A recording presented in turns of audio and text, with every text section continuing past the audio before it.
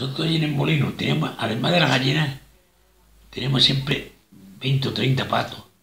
Pato.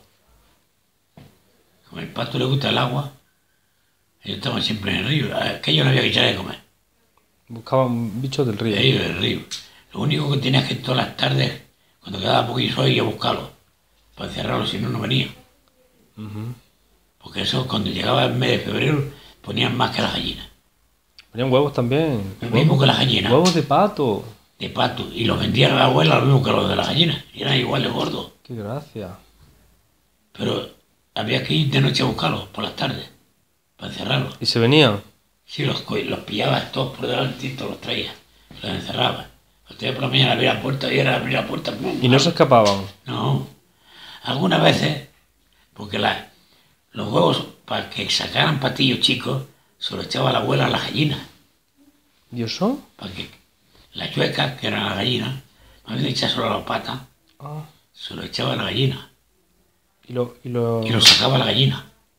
¿Porque la pat- el pato no? ¿La pata no? Sí lo saca. pero ella dentro de la casa no. Tiene que ser en el Si campo. iban a, aquel- a aquellos ríos, que muchas veces se perdía una pata, se ha perdido una pata, se ha perdido una pata. Y sí, a lo menos al mes asomaba, Con la banda pato. con una bandilla patillo detrás de ella.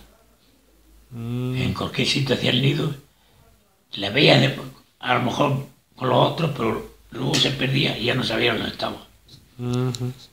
Y la abuela echaba, porque la- la- los patillos están un mes, un mes tarde en nacer. Los pollos gastan 21 días, los pollos un 21. 21 días. ¿Y Y los- los patos un mes.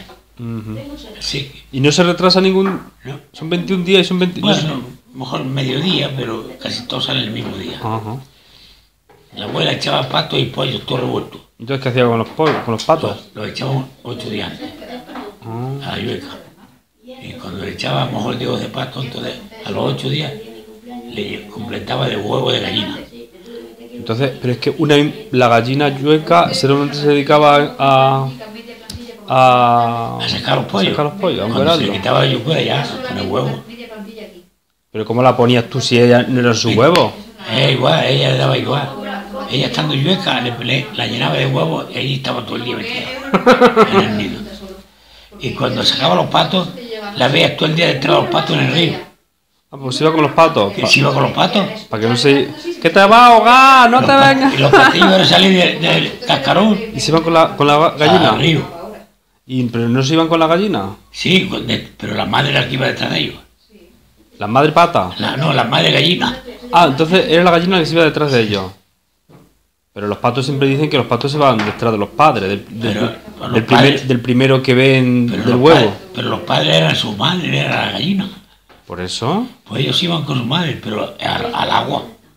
Si era salir de cascarón, cogía mi madre un cubo, lo llenaba de agua y como me salía, lo iba echando al cubo. Pero si empezaban a nadar allí, allí les echaba la primera comida, en el cubo. Pejillo de pan, mojado, allí empezaban ellos a, a picotear, metidos en el agua. Mm, Y cuando venían dos o tres días, ya iban en busca del agua, tenían esa. en busca del agua. Y en cuanto bajaban al río, como estábamos cerca, se metían en el río y la gallina todo el día arriba, arriba, arriba, abajo, detrás de ellos. ¿Y los otros pollos? Y los pollos ya se quedaban. ¿No iban al río? No, eso no. Y a los patos. Aquello era. Era una risa.